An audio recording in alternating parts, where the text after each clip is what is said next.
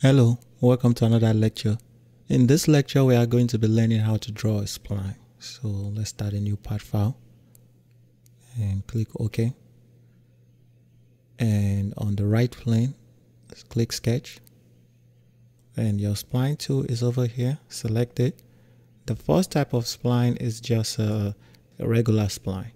So to draw a spline, I'm going to select my spline, click your first point, and just drag it anywhere you want. Click your next point and you can bend it up and down.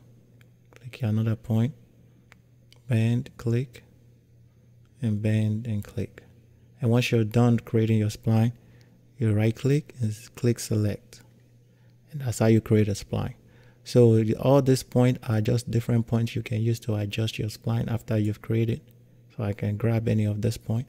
So holding down on the left click, you can use the left click to grab it and you can drag it wherever you want. The next type of spline is a, a spline, a style spline. So it's how a style spline works is um, you can click and you have the different type over here. So we'll use the Bezier one.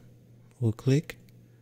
When you click, you'll click your first point, bring it to your next point, click, and you're pretty much drawing the line and on the line it is creating the spline so see I'm clicking just the line dragging it out.